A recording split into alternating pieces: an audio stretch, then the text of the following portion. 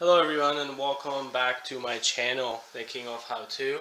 In today's video, I am going to show you how to create a stand for your Keurig uh, when you run into an issue like I did where my travel mug is not going to fit uh, under the machine. Even if I take the tray off, I am still hitting um, the Keurig. So we're going to build a small base, probably about a half an inch uh, in height. That's gonna fit nicely under the Keurig. And with that, we'll be able to still put the tray in because the base that we're gonna make is gonna support uh, the bottom of the tray. So we're going to have a small indentation in it that we can slide the mug in there uh, to accommodate the height.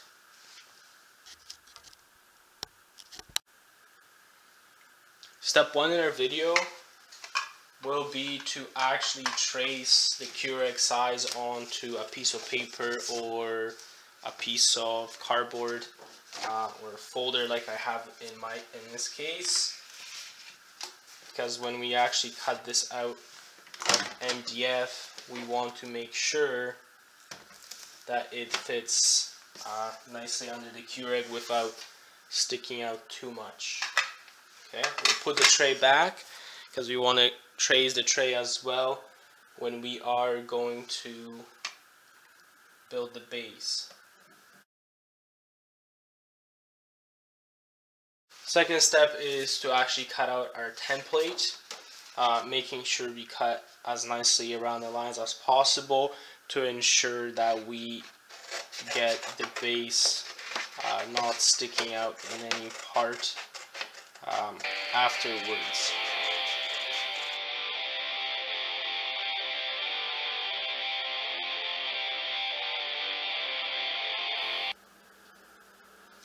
As you see here, after I drew my circle around the cup here, uh, I had to extend these pieces here uh, so the mug can slide in instead of getting put in uh, to, the opening because I was still hitting the Keurig.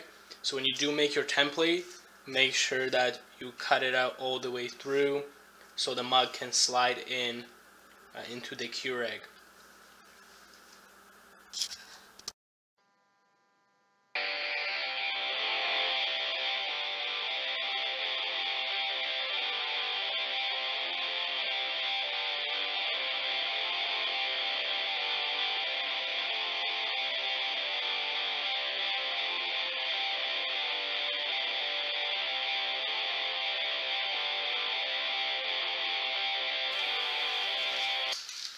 As you now see, we have our general shape cut out. There's a couple spots I still have to clean up on the edges.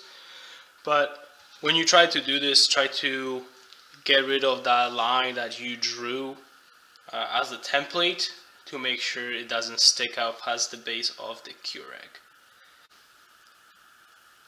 Once we are at the point that we are happy with our general shape, uh, obviously we're going to sand these edges uh, to make them nice and smooth without any um, bumps or anything like that.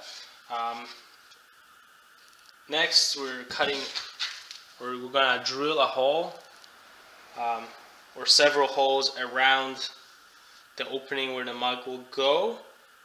So I used as big of a drill bit as I thought would be necessary for this. So we're going to drill holes all the way around and then we're going to use the jigsaw again uh, to finish that hole and then we'll have to do some sanding.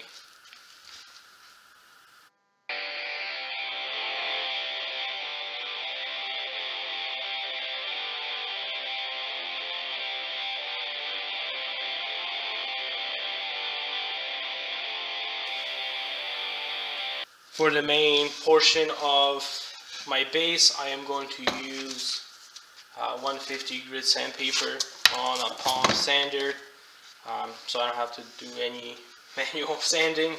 Um,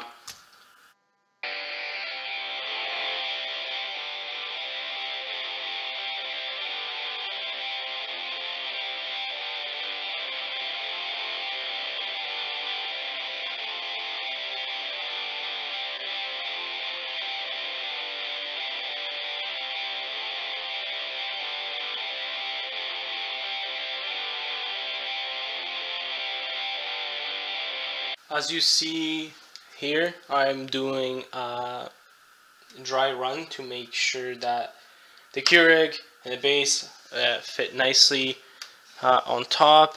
I see a couple spots where I have to do some touch-ups as well as a little flaw um, with putting the mug in. It's still too tall um, to actually get it inside if I'm trying to put it right into the hole. So my solution is to extend my circle and cut it straight so I can just slide the mug in into its spot. And I am back with making my modification to the entry point for my mug. I am going to double check the fitting once again.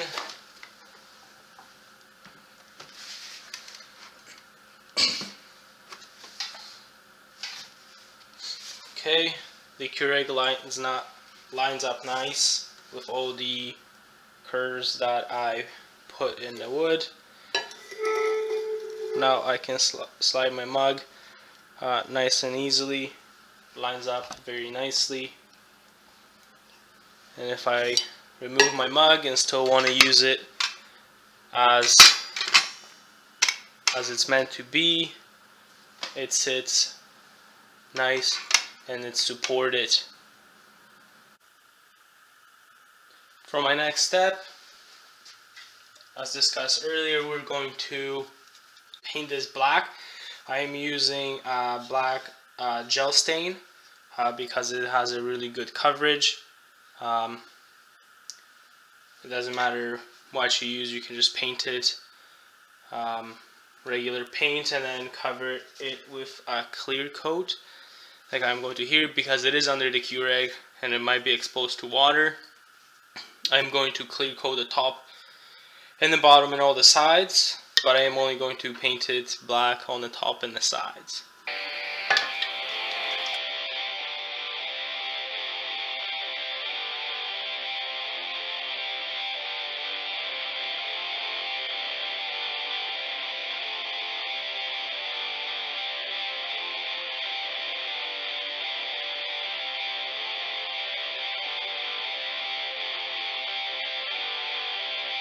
After the one coat of the black gel wax, I waited 24 hours, almost 24 hours for it to dry.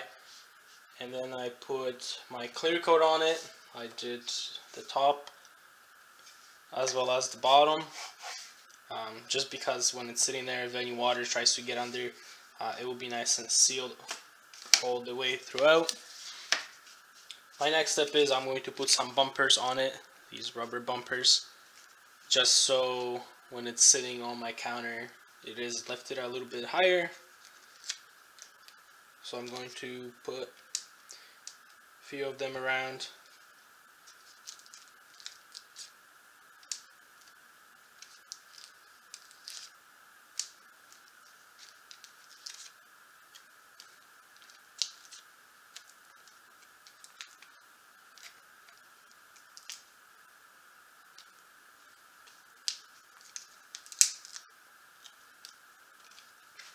That should be good enough.